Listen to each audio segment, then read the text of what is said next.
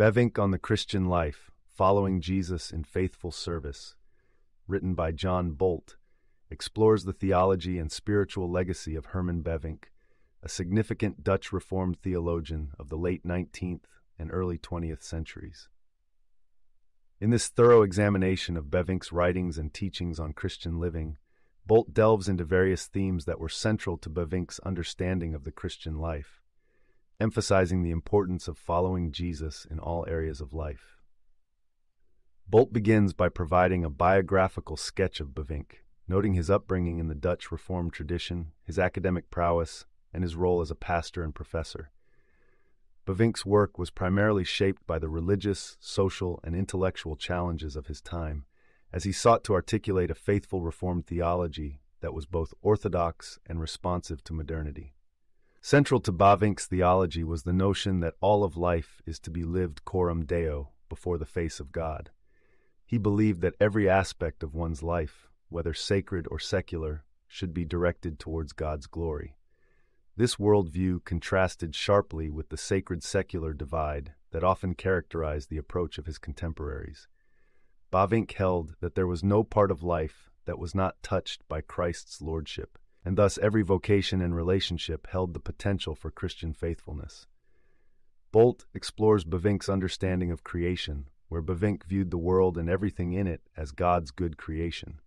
As such, Christians are not to shun the world, but to engage with it positively, seeking its redemption and renewal.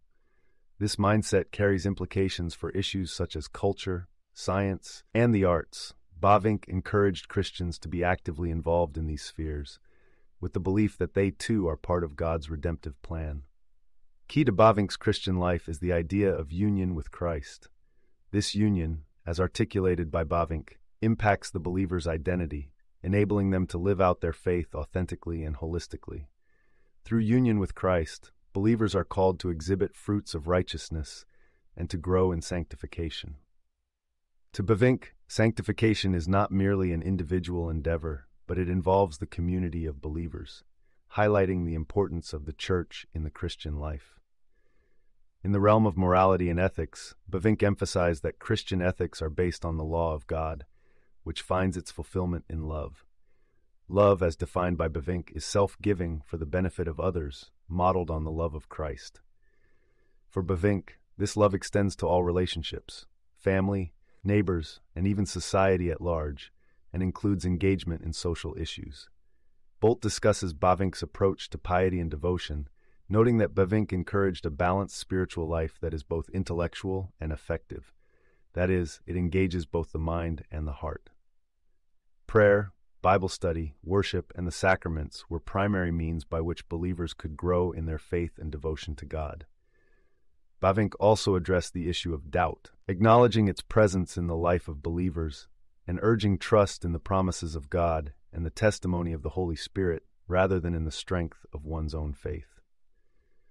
The book explores Bavinck's thoughts on the end times and Christian hope, demonstrating Bavinck's amillennial perspective. Bavinck believed that Christians are to live with an anticipation of Christ's return and the consummation of all things. He rejected both an overly pessimistic view of the world's future and an overrealized eschatology that expected heaven on earth before Christ's return. Instead, Bavinck reminded Christians that their ultimate hope lies in the new creation that God will bring about. Education was another aspect of the Christian life that Bavinck cared deeply about. He argued that education should be grounded in a Christian worldview and should aim at forming individuals who could serve God and neighbor in various vocational. This forms the basis for a Christian engagement with societal structures and the call for justice and righteousness in public life. Towards the end of the book, Bolt examines Bavinck's legacy and how his insights into the Christian life remain relevant for contemporary believers. The challenges faced by Bavinck in his context such as the relation between Christianity and culture or faith and reason, continue to be pressing issues for the Church today. Bavinck's nuanced and holistic approach to these challenges offers guidance and wisdom for Christians seeking to navigate their own cultural moment faithfully. In concluding, John Bolt presents Herman Bavinck as a theologian deeply committed to the Reformed tradition, who nevertheless engaged with the world openly and constructively. Bavinck's vision of the Christian life calls for a robust engagement with the world, informed by a solid theological foundation that influences all areas of life.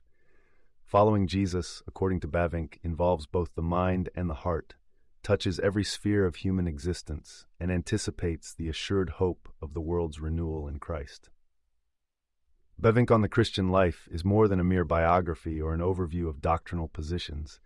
It demonstrates how one theologian's commitment to the gospel can shape every aspect of living in the world. For Bavinck, theology was not just an academic pursuit, but the very basis for living a life of faithful service to God and neighbor. Through his writings, Bavinck encourages Christians not only to understand their faith, but to put it into action in the everyday rhythms of work, family, society, and worship. Bolt's work serves as a bridge connecting Bavinck's thought with contemporary discipleship, urging a Christianity that is both deeply rooted in historic orthodoxy and dynamically engaged with the world today.